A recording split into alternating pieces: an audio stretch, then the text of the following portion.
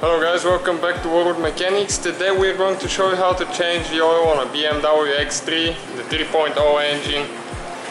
And it will be the same procedure for most uh, BMW X3 with this engine. And what we're going to need is an oil filter if you're using Fram CH8081. This one is a 2005 X3 and Mobil 1 5W30 it's recommended that you use 540 in summertime and 530 winter time but we are going to use 530 this time. And you're going to need 6.6 .6 quarts or 6.2 liters for the oil change. The first thing that you need to do is open the oil cap on the top because when you remove the oil plug it's not going to create vacuum make vacuum and the oil will freely come out of there. Okay, now you need to go under the vehicle and right there with 17 millimeter socket, that's where the oil plug is. Right there, so you need to take it off completely off and do not do that when you when your engine is hot or your oil is too hot because it might burn you. Be careful. Hot oil can really burn you. And as you can see how black this one is, he has 10,000, 11,000 miles almost on it. It's synthetic oil. So we just let it drain until it's completely out of there. Okay, we're ready to put the oil plug back on. The oil is out of there. And don't forget to tighten it, do not leave it for later. Go ahead and do it now, because if you forget to tighten the oil plug, you might lose it and run out of oil and the engine is done. So just to avoid future problems, tighten it now. Don't leave it for later. Again with the 17 millimeter socket.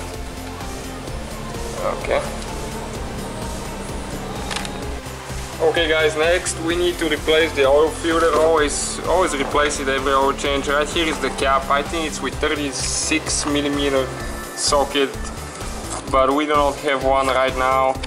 You can use big pliers, but careful not to crack the plastic. We recommend using the right tool. Get that 36 millimeter socket so you can remove the plastic cap easy and just unscrew the whole thing and the oil filter is located underneath. When you buy a new oil filter it always comes with a new seal so replace the seals as well because otherwise they're really hard to take off because the old seals they tend to get stuck. And now you can just unscrew it by hand. And lift it up get something like a bucket or a pan not to make a mess. Okay that's the oil filter housing right there. And now we're going to replace the oil filter Okay, now with a flathead screwdriver you remove the big seal from the cap like that. And this is the new one that came. So we're just going to install it, make sure that you go in that big groove right there. Just stretch it out, put it on the oil filter cap housing. Okay, like that. And always apply oil to it, to the new one, because this way you'll be able to to get it on easy and it won't get stuck in the future. And this is the oil filter made by Fram CH8081 as you can see. And now it doesn't, weigh, it doesn't matter which way you put it on, it's exactly the same both ways and you push it in until it clicks.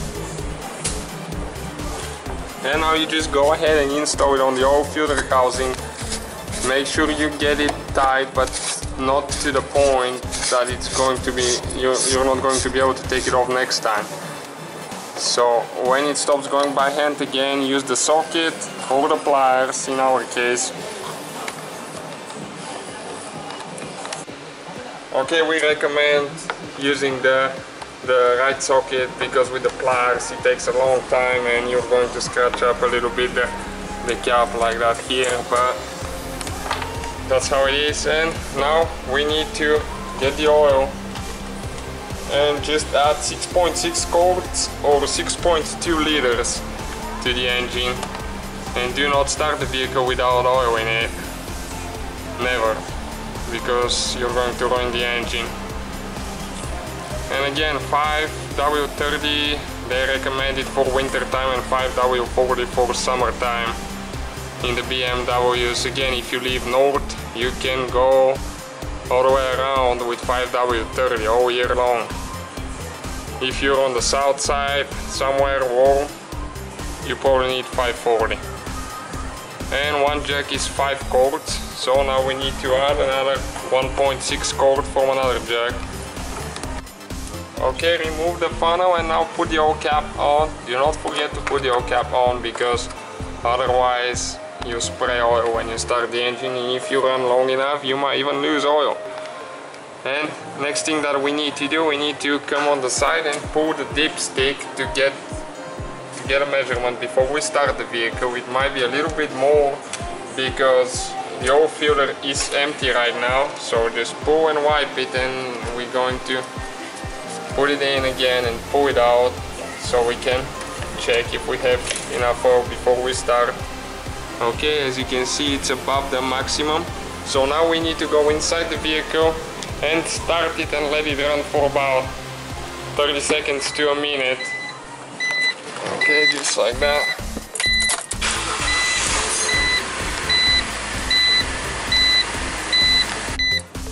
Okay now we need to let it stay for about a minute. And it did. So a minute or two the oil goes down put the dipstick, wipe it again, and now this will be the accurate reading because the oil filter is full now, and that's the amount of oil that you have in the oil pan. And eh? it's okay right here. It's between the probably about two thirds full right now.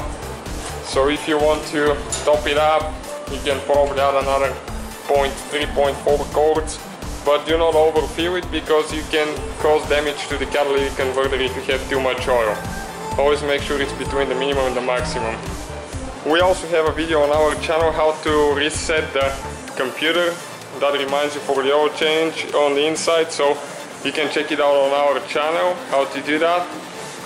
Thank you guys for watching us. If you have any questions let us know. Don't forget to subscribe to our channel for about 5 new videos and give us a like.